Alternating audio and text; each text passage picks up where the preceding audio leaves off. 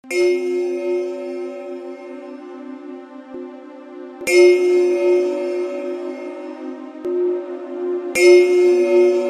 อนอบน้อมคุณพระพุทธ พระธรรม พระสงฆ์ คุณพ่อแม่ ครูบาอาจารย์ และสวัสดีท่านผู้ฟังกัลยาณมิตรทุกท่าน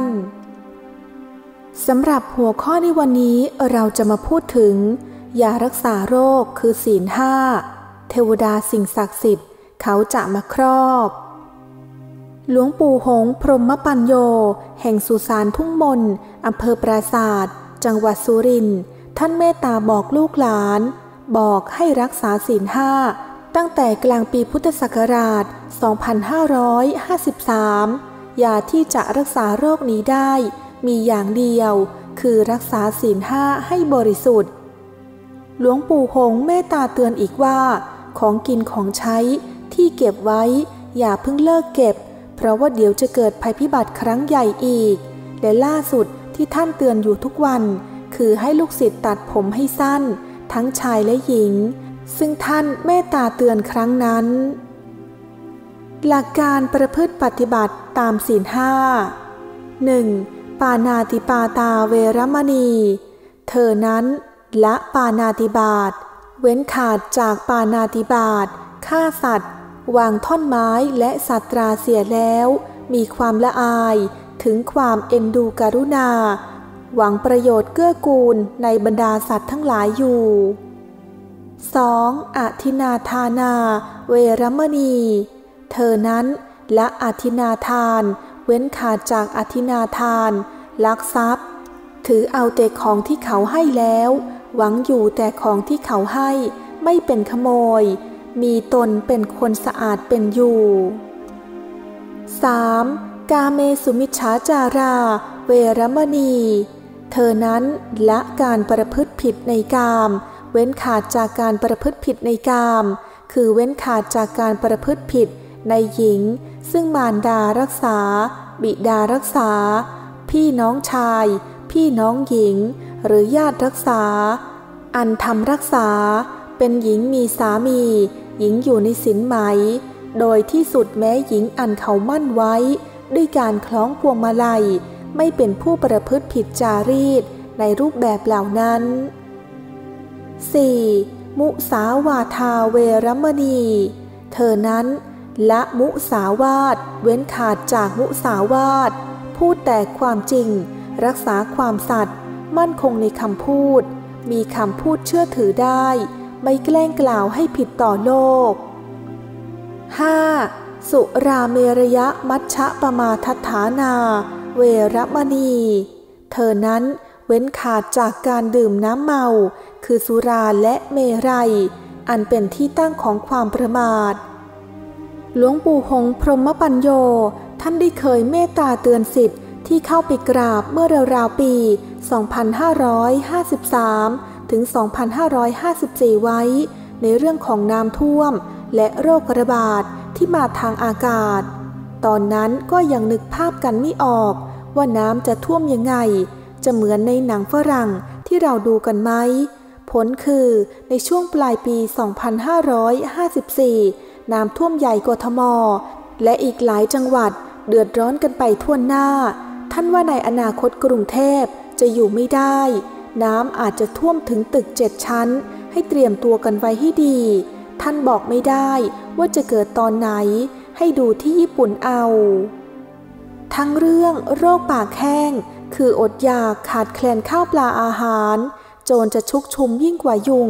ฆ่าพระฆ่าเนน ได้เงินก็ฆ่า ไม่ได้เงินก็ฆ่า แก้วแหวนเงินทอง พยายามอย่าใส่ จะเป็นภัยกับตัวเอง โรคระบาดทที่มาทางอากาศ เกี่ยวกับทางเดินหายใจ ซึ่งณวันนี้ก็ชัดเจนแล้วว่ามันคือโรคโควิด -19 ท่านว่ามีมากมายร้อยแปดชนิด ของดีอยู่ที่คน คนดีอยู่ที่ศีล ถ้ามีของดีแต่ไม่รักษาศีล ครูบาอาจารย์ท่านก็ช่วยไม่ได้ หากเราทรงความดี เชื่อมั่นในพระรัตนตรัย ครูบาอาจารย์ รักษาศีล จริญภาวนาทุกเช้าค่ำหยุดทานเหล้าเบียร์ได้เด็ดขาด ก็คงจะปลอดภัยจากโรคร้ายต่างๆได้ หลายอย่างที่หลวงปู่เตือนไว้เมื่อเกือบสิบปีก่อน ตอนนี้เริ่มชัดเจนขึ้นทีละอย่าง วัตถุมงคลต่างๆ ที่ท่านทำไว้ให้ลูกศิษย์ก็เพื่อกันภัยกันอันตราย ใครมีวัตถุมงคลของท่าน ก็อาราธนามาพกติดตัวกันไว้นะ นอกจากนี้หลวงปู่หง ท่านได้สร้างตะกรุดกันโรคไว้ ให้ลูกศิษย์มีไว้ป้องกันโรคในอนาคต คือตะกรุดหนึ่งดอกคู่กับพระเจ้าแผ่นดิน เหรียญบาท ที่เป็นตะกรุดคู่กับเหรียญบาทนั้น เป็นเพราะท่านสั่งให้ทำเป็นชุดให้เรียบร้อย ไม่ให้แยกกัน และถ้าท่านเห็นใคร บูชาตะกรุดนี้ไปโดยยังไม่ได้เลี่ยมกรอบ ใส่หลอดให้เรียบร้อย ท่านก็จะเรียกผู้มีส่วนเกี่ยวข้อง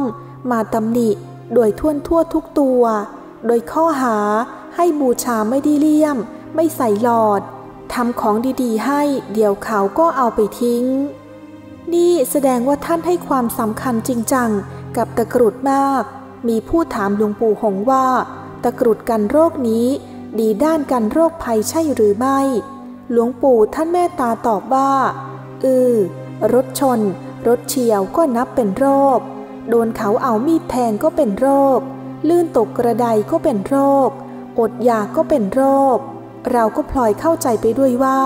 ตะกรุดกันโรคนี้ มีอนุภาพเปรียบดัง แม่คุ้มครองลูกที่ยังเล็ก อบอุ้มปกป้องทุกอย่างกันภัยอันตราย คุ้มครองลูกไม่ให้คลาดสายตานี้ ดังนั้นเพราะเกิดขึ้นจากยันของพระแม่ร้อยแปดพระองค์ มีพระแม่ธรณีเป็นประธาน มาถวายให้แด่หลวงปู่ ภายในจะประกอบด้วยตะกรุดเงินอุดผงพุทธคุณมากกว่า 3,000 ชนิด และเหรียญประทับโคดตะกรุดนี้หลวงปู่หงได้นิมิตจากพระแม่ร้อยแปดองค์ ให้ทำตะกรุดป้องกันโรคภัยไข้เจ็บ โดยวิธีใช้ให้ระลึกคุณพระศรีรัตนตรัย พระแม่ร้อยแปดองค์ หลวงปู่หง พระบาทสมเด็จพระเจ้าอยู่หัว แล้วท่องนโมสามจบ ว่าคาถา นะโมพุทธายะ นะมะพะทะ จะพะกะสะ นะเมติ 12 ถึงร้อยแปดจบ แล้วอาราธนาตะกรุดป้องกันโรค สวมคอ ตะกรุดใช้รวมกับเหรียญสตังพระเจ้าอยู่หัว และที่สำคัญเมื่อตอนที่แม่พระธรณีมาบอกวิชาทำตะกรุดกันโรคนี้ หลวงปู่ได้เรียกให้อาจารย์เสกสรรหรือท่านอริยมุนี แต่งขันเข้ามา และท่านก็ได้ประสิทธิ์ประสาทวิชา การทำตะกรุดกันโรคนี้ ให้แก่อาจารย์เสกสรรเพื่อสืบทอดต่อไป ตะกรุดกันโรคมีข้อกำหนดที่หลวงปู่ ท่านย้ำนักย้ำหนา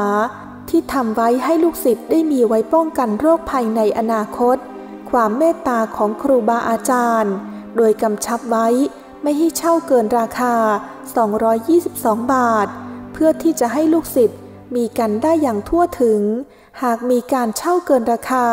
วิชาก็จะเสื่อมคลาย หมดความขลังไป ขอน้อมกราบคติธรรมคำสอนครูบาอาจารย์ ขอขอบพระคุณและขออนุโมทนาสาธุสำหรับผู้ที่ได้จัดทำและเรียบเรียงเนื้อหาข้อมูลดีๆ แบบนี้ มาให้กับท่านผู้ฟังได้รับฟังกัน หวังว่าท่านผู้ฟังคงจะได้รับประโยชน์ข้อคิด จากเรื่องนี้ไม่มากก็น้อยสำหรับวันนี้ทีมงานมัชชาเสียงธรรม ขอขอบพระคุณค่ะ